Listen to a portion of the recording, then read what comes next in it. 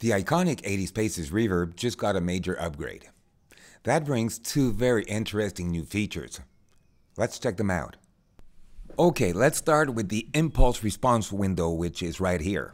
In previous versions, you had to click the arrows to listen to the different impulse responses. You couldn't see them really.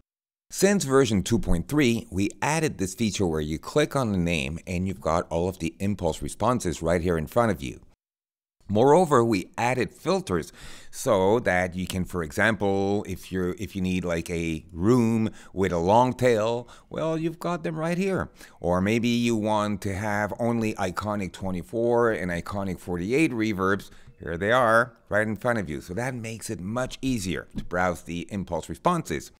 You can also right click on that name and you will have a new window which might be more convenient for you. It's a bigger window and again you can filter and that makes it really easy to use.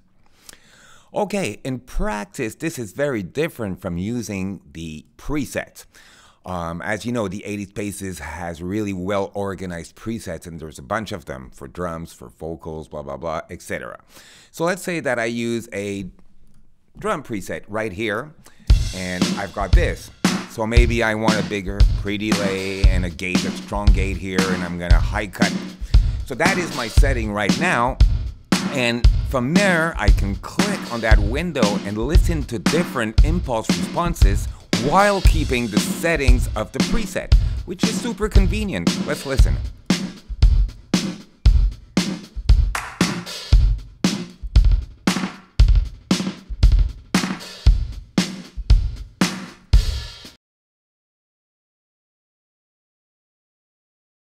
Okay, that's all good stuff, but wait, there's more.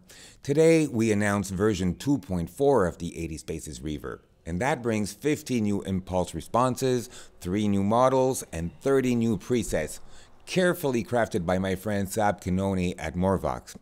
But he had another great idea, and the devs integrated that. Let's check it out. Okay, so you can notice that we've added that very discreet 8 little note here and another one here on the gate, which means that from now on you can set the pre-delay and gate not only with values such as milliseconds and seconds, but based on the BPM with values such as, you know, 1 16th note, 1 8th note, dotted, triplets, etc. And that is a game changer. Let's see what we can do with it.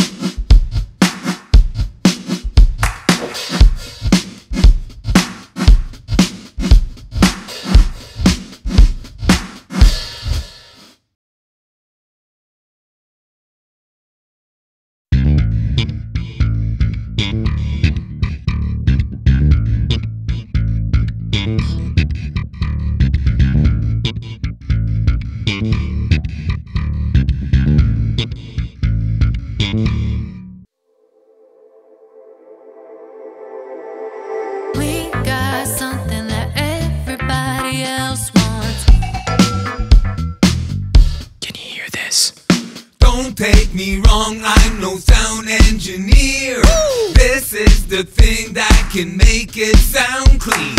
Give it a try and you'll know what I mean. Just give it a try and you'll know how I